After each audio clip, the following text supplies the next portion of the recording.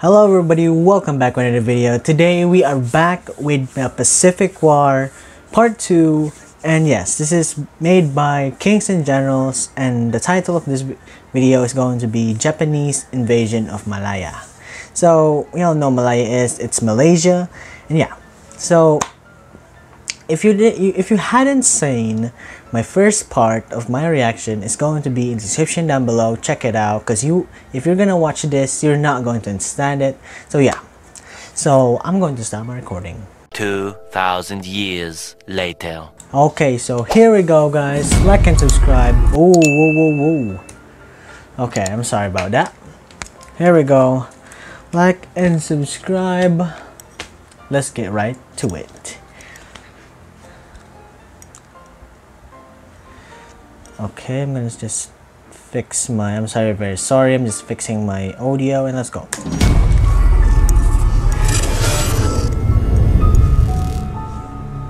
Pacific War. Ooh. 1941 to 1945 After the attack on Pearl Harbor December 7th would always be remembered as the day of infamy in which the Japanese started the Pacific War. But at the same time, the Empire of Japan also began simultaneous offensives against British, Dutch and American possessions in Southeast Asia and the Pacific. Today we're going to cover some of these attacks in mainland Southeast Asia, primarily focusing on the invasion of Malaya and the British response against the Japanese aggression. Learning about the sponsor of this video, Bokksu, was one of the um, highlights. Sorry. I'm very very sorry. Uh, I gotta skip that. Over here.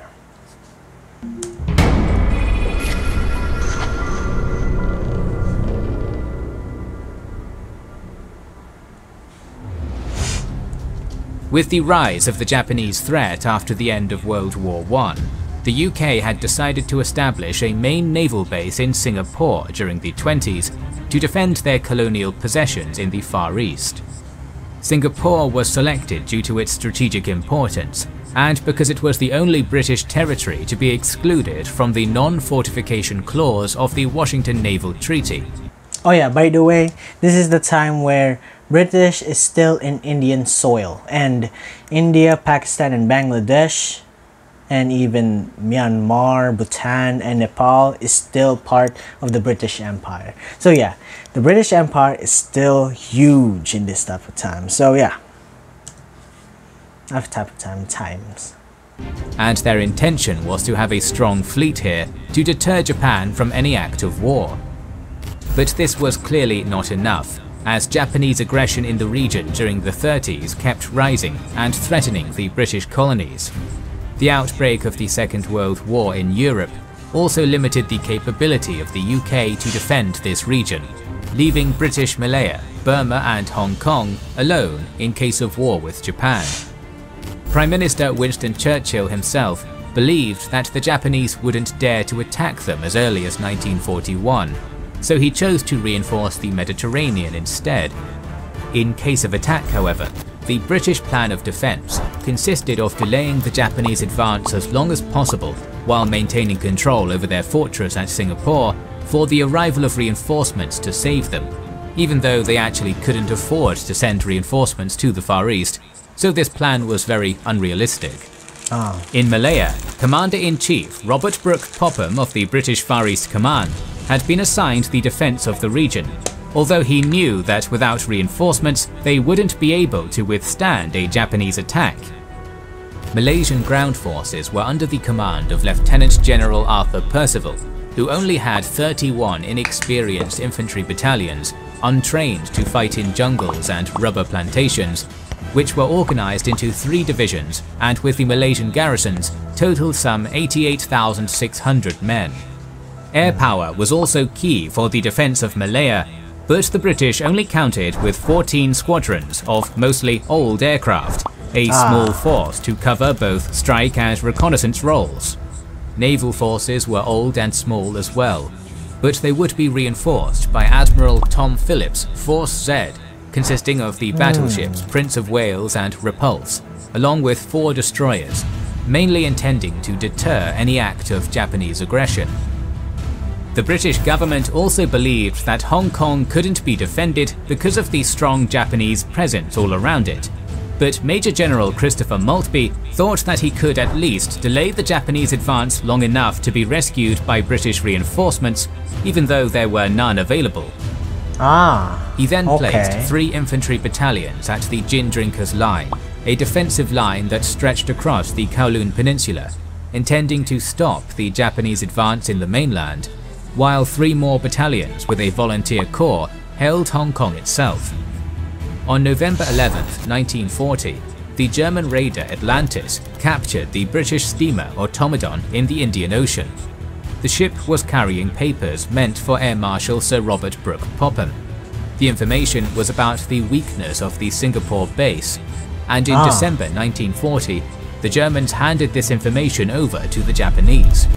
because we all know Japanese, the Italians, and the Germans are allies in the war. So yeah. Alongside this, the Japanese broke the British Army codes in January 1941, learning the details of the weakened state of the Fortress of Singapore, allowing them to prepare for an invasion. As we've already seen, after the embargo enacted by the US, the UK and the Dutch in July of 1941, the Japanese had decided to simultaneously invade their possessions in the east to get their hands on the rich resources they possessed. It is interesting to note that as China tied down many of their forces, the Japanese could only employ 11 divisions for these offensives, so speed was really of the essence before the Allies could reinforce this region. By late November, preparations for the attacks had already been carried out, and on December 2nd, the order to climb Mount Niitaka had been sent, setting in motion the start of the offensives. For the invasion of Malaya, the Japanese planned to do several naval landings in southern Thailand and northern Malaya, followed by an advance through the Malayan Peninsula along the western coastal plain until the final assault against Singapore Ah. across the Strait of Johor. First of all, Thailand is very out of place. Thailand is the only um, independent nation in in whole Asia in this part. Jeez. Okay, China is still, but I don't know if that's independent because Japanese is in your land and Philippines is being held by America and Malaysia is being held by the British and India, Myanmar, Bhutan, Nepal, Bangladesh, and Pakistan is still colonies of the British Empire. So, yeah, the Thailand is very, very out of place, and it's this is my first time knowing that Thailand was a kingdom. The plan developed by Tsuji Masanobu was very bold, having to traverse 400 miles of jungle road against a major force that had established formidable defenses in Singapore. The hmm. 25th Army of Lieutenant General Yamashita Tomoyuki, initially consisting of two divisions, was appointed to execute this operation, covered by the 2nd Fleet of Admiral Kondo Nobutake in its role of escorting convoys to Thailand and Malaya. The landings at Thailand would be critical because the British couldn't defend this area, giving the Japanese an easy landing point to commence their advance. Thailand Oh.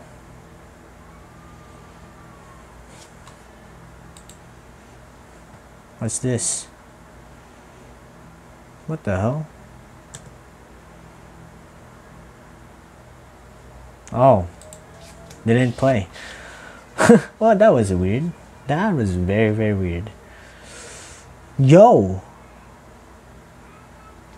Oh, there Thailand's dictator, Marshal Plaek Phibun, had promised the Japanese to allow them safe passage for a possible invasion of Malaya. Ah, Yet at the same dictator. time, he was negotiating with the British and Americans for guarantees, which made the Japanese feel like they couldn't trust him. So you're allowing them to pass by your country and and wait, so you're okay, that's very very stupid of you because you're um allowing Japanese to pass by your country and meanwhile you're negotiating like guarantees with American the British? Why? That's that that's stupid. Like Japanese is like strong this time so yeah. Even now.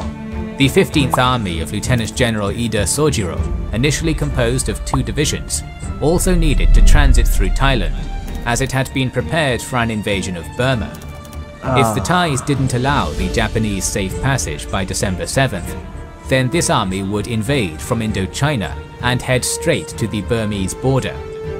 To counter a possible invasion of Thailand, Brooke Popham had planned for the 11th Indian Division to establish positions at Singora and Patani before the Japanese could land, although this action meant invading a neutral nation. Since Operation Matador didn't get automatic approval, the plan was essentially dead, but it would have one major consequence. The 11th would be prevented from completing defensive positions at Jitra. And at Hong Kong, the 23rd Army of Lieutenant General Sakai Takeshi consisting of only one division, had the task of executing a three-pronged attack against the gin drinkers' line, while Hong Kong Island itself was blockaded and bombarded into submission. oh On December 4th, troop transports from Hainan Island, escorted by Admiral Kondo's fleet, started to sail en route to their objectives. Two days later, the Japanese were spotted by British reconnaissance, but Brooke Popham wasn't authorized to take any actions yet, only putting his forces on full alert.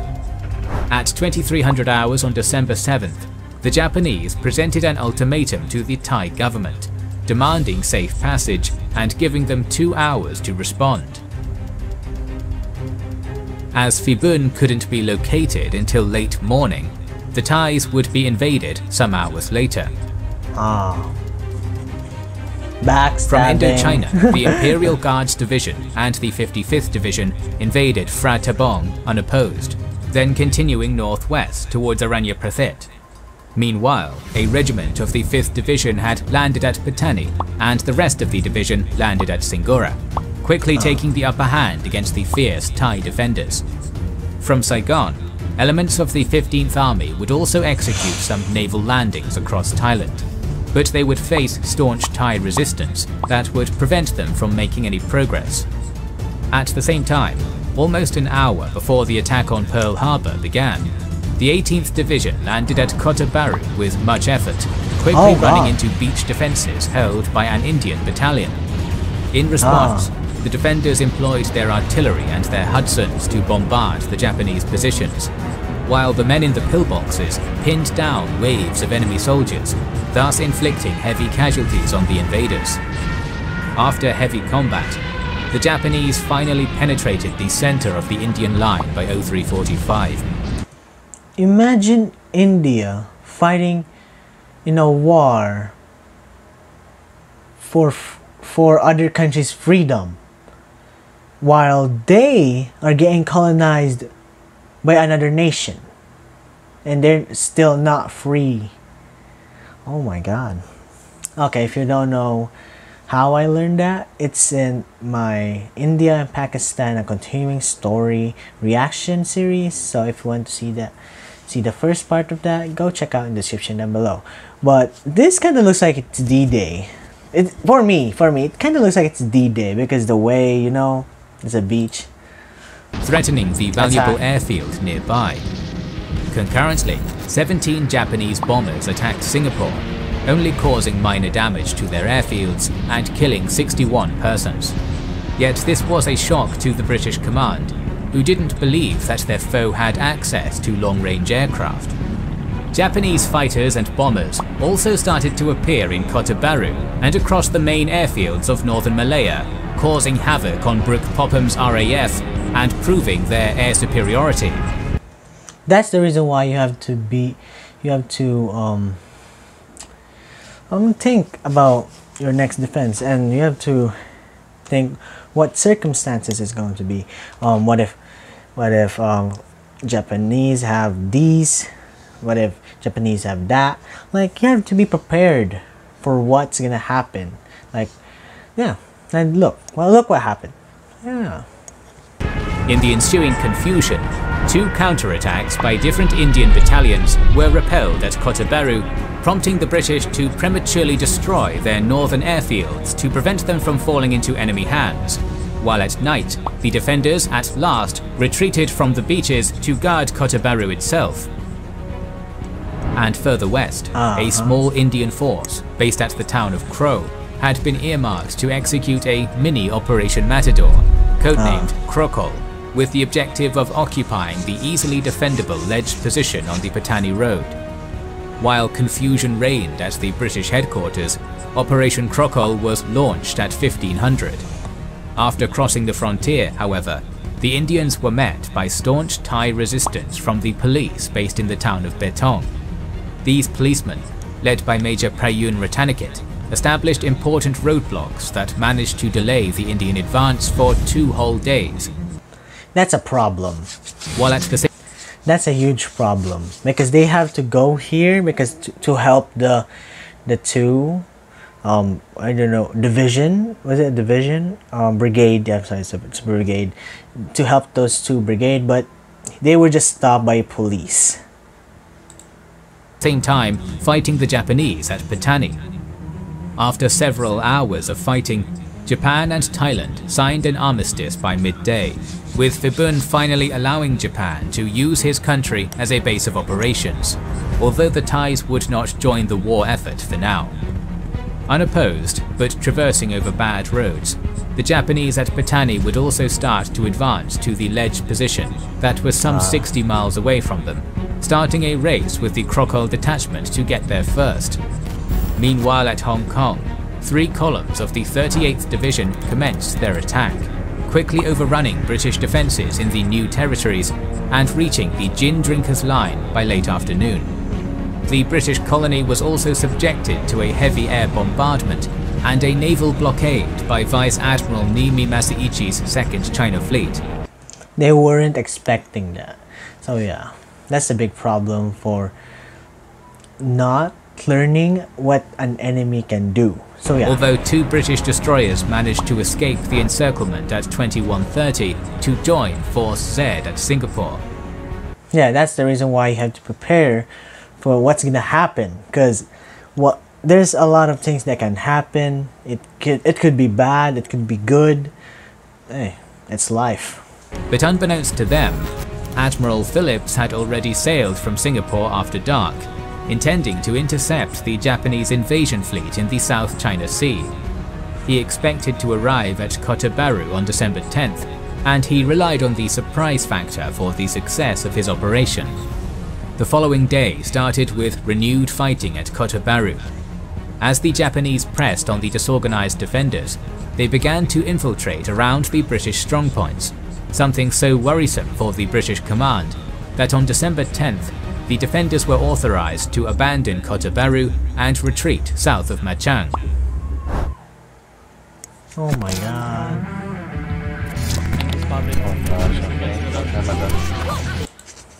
okay At 1345 on December 9th, Force Z was also discovered by Japanese submarines while they travelled Ah. north, so their destruction was now inevitable. Four hours later, the British spotted Japanese aircraft tailing them, prompting Phillips to turn west and return to Singapore.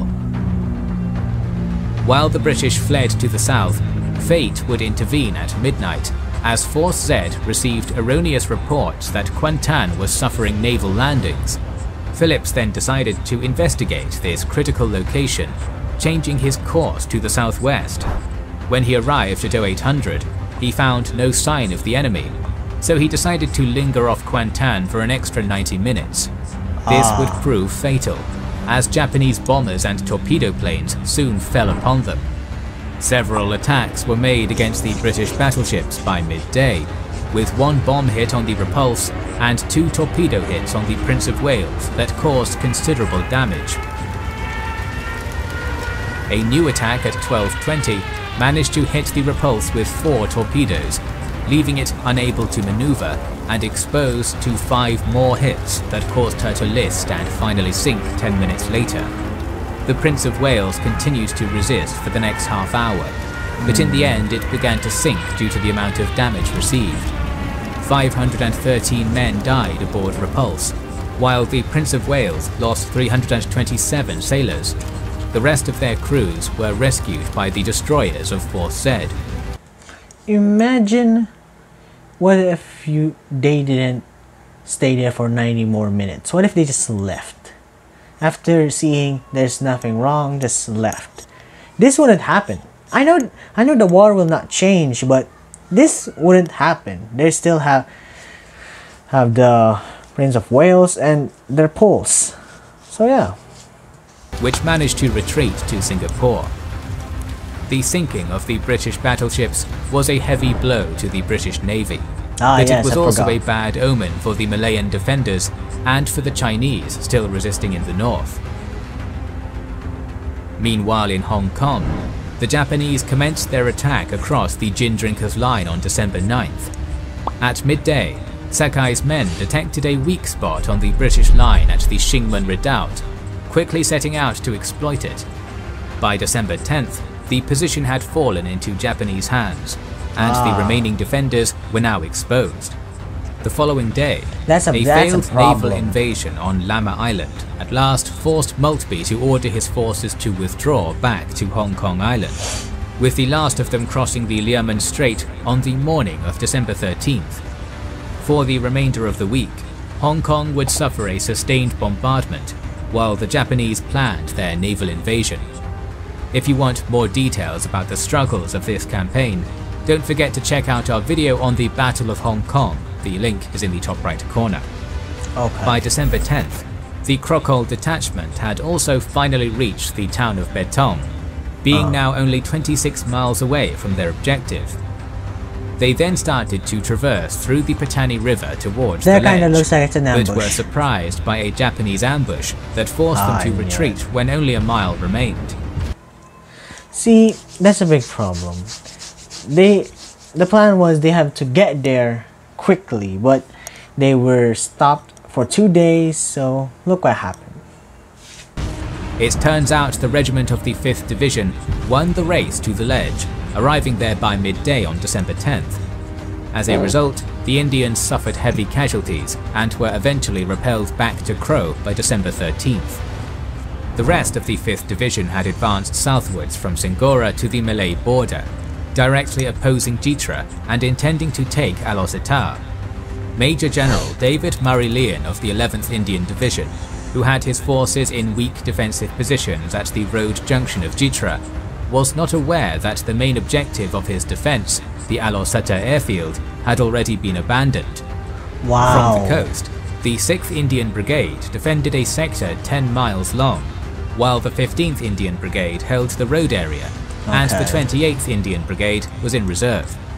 The Indians had already sent two detachments to delay the Japanese advance on December 9th, but seeing the Japanese rapidly advancing, Murray Lyon placed two battalions north of Jitra to give the Indian defences more time to be better prepared.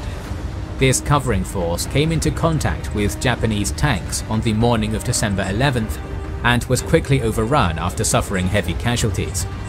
The loss of these battalions forced Murray Lyon to bring forward his reserves, leaving Alor Setar lightly defended.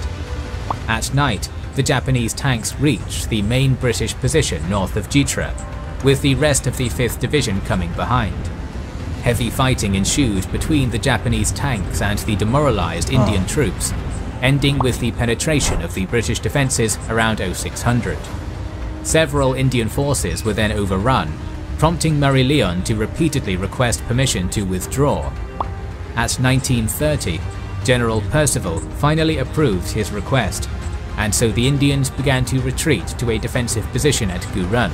Okay. Due to very poor communications and amidst great confusion, Murray Look what happened. Forces suffered immense casualties.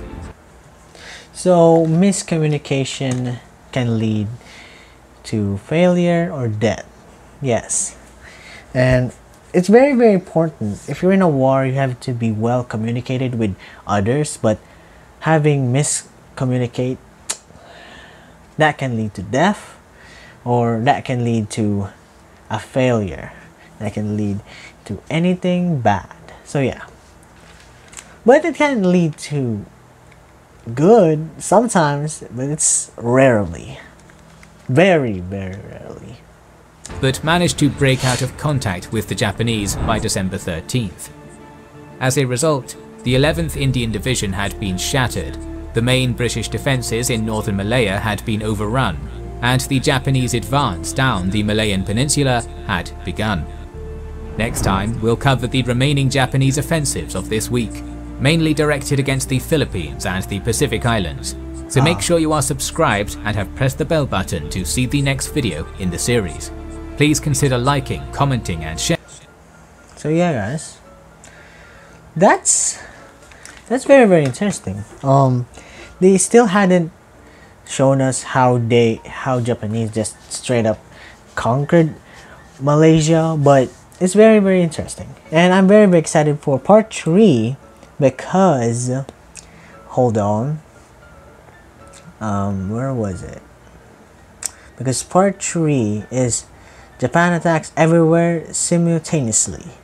And yeah, they're gonna attack everywhere. The Philippines, and oh, they had they didn't even invaded Malaysia. They still invaded Philippines before they invaded Malaysia fully. So yeah, I'm very very excited. Thank you for watching everybody. Like and subscribe for more videos like this. Goodbye. And go yeah, check this video out in description down below. Check Kings and Generals. Yeah. Bye bye.